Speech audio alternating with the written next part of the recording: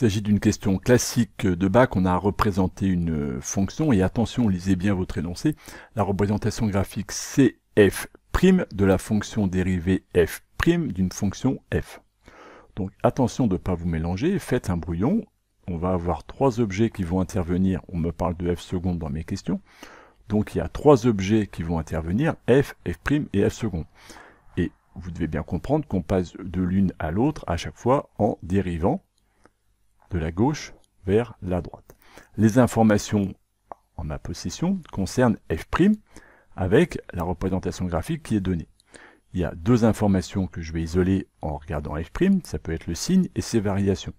Je vois que la fonction f' est positive jusqu'à environ, c'est dur à dire, on va dire moins 2,7. Donc elle est positive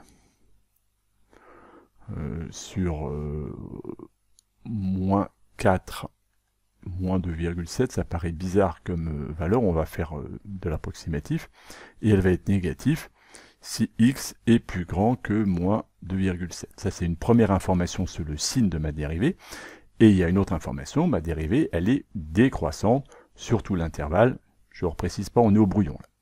Ma dérivée est décroissante. Donc il y a un changement de signe, elle est positive, négative, elle s'annule, par contre elle est strictement décroissante.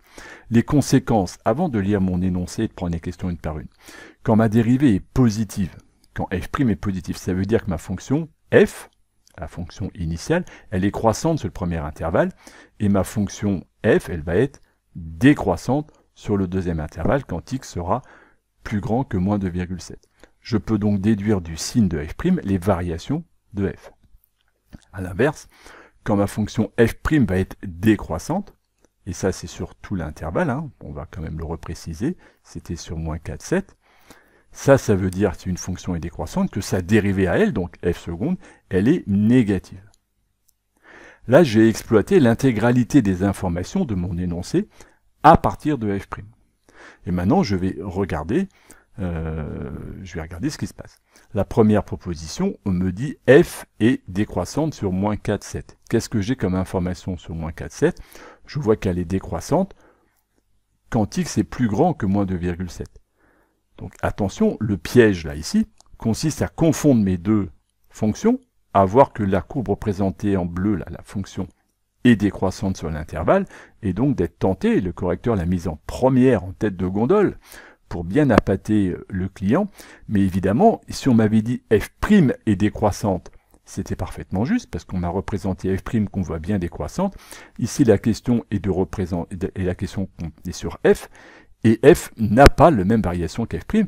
Au contraire, on l'a vu, elle n'est décroissante que sur la deuxième partie de l'intervalle. Cette réponse est fausse. f n'est pas décroissante tout le long, puisqu'à un moment donné, la dérivée est positive. Deuxième proposition, ma dérivée f' est négative sur l'intervalle moins 4, 7. On voit bien ici ma fonction qui est représentée, f', elle n'est pas négative sur tout l'intervalle, on en a discuté en tout début euh, d'analyse, elle n'est positive sur le début de l'intervalle, cette deuxième proposition est clairement fausse. Troisième proposition, ma dérivée seconde est décroissante sur l'intervalle moins 4, 7. Pour qu'une fonction soit décroissante, c'est ce qu'on me propose ici de dire, si ma dérivée seconde était décroissante, ça voudrait dire que sa dérivée à elle, donc là on parlerait de la dérivée tierce, on, va, très loin, serait négative, mais je n'ai aucune information sur ma dérivée tierce. Je ne sais pas du tout quelles sont les variations de ma dérivée seconde, je n'ai aucune information là-dessus, et c'est certainement pas une étude de f' qui pourrait me le, me le donner, ce serait sa dérivée à elle, information que je n'ai pas, cette information est à exclure. On a très envie de dire que la quatrième va être la bonne réponse, on va le vérifier quand même. f seconde est négative sur l'intervalle moins 4, 7, c'est exactement ce qu'on avait trouvé dans l'étude au départ. La fonction dérivée seconde est négative sur l'intervalle moins 4, 7, puisque f', elle, est décroissante. Si une fonction est décroissante, sa dérivée est négative. La seule bonne réponse est la numéro 4.